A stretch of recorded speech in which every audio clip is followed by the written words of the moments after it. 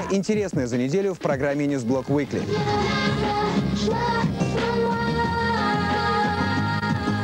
Заграничные приключения тату. Студии «Кабриолет» в программе Newsblock Weekly. She she has breakfast, Not breakfast, lunch. lunch in small coffee shop. Приключения тату в Лондоне и Лос-Анджелесе. Студии, кабриолеты и танцы на берегу. Участницы группы «Тату» в конце прошлой недели вернулись в Москву из долгого путешествия по загранице. Все началось еще в конце прошлого года. После успеха на VMA Юля и Лена прокатились по городам Европы. Были мы в Германии, а, были мы в Словакии. Там а, в Словакии был как бы, а, как это называется, ну как бы как большой как бы такой вручение, как бы такой как песня года, да, как бы так называемый у них там. Вот и мы там выступили. Присутствовали как гости. Да, как гости.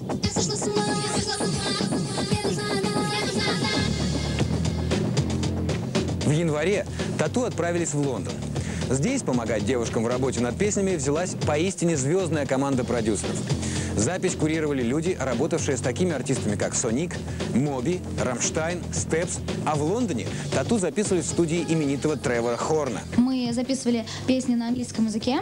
Вот, это для... Ну, расскажи. Что я все сижу, говорю, говорю. Ты любишь говорить. Нет, говори. Ну, мы писали э, припы- припевы наших как бы э, самых, самых популярных двух песен «Я сошла с ума», «Нас не догонят» на английском языке припевы э, для Германии и на немецком языке «Нас не догонят». Ну, тоже припевы. Да, ну только припевы. Uns stoppen. До сих пор забыть не могу. Да, это же самое.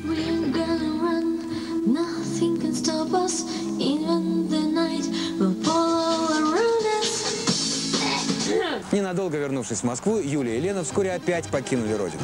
Теперь их путь лежал на Тихоокеанское побережье Соединенных Штатов. Поездка в США вызывала у девушек даже некоторое волнение. То взрывы, то дожди начинаются, то снег пошел. Еще почему-то не было, нет, не было такого, что летом у нас идет снег. Надо было какое-нибудь такое что-нибудь сделать.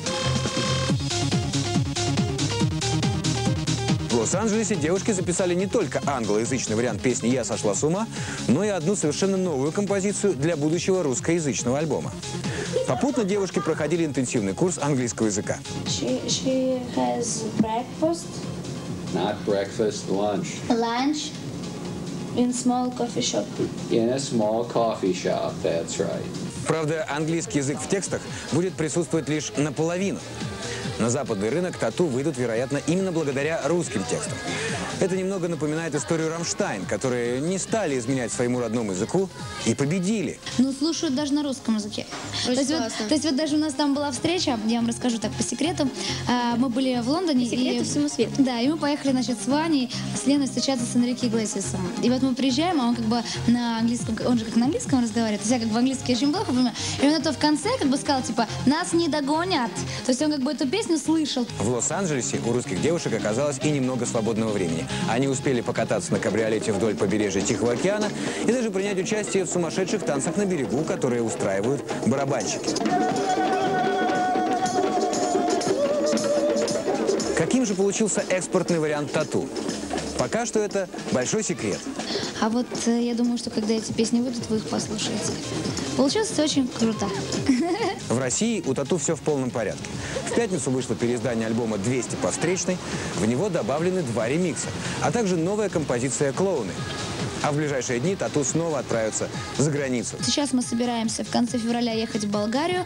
В марте у нас намечается, как я помню, Вели- Вели- Великобритания, а в апреле у нас э, Израиль.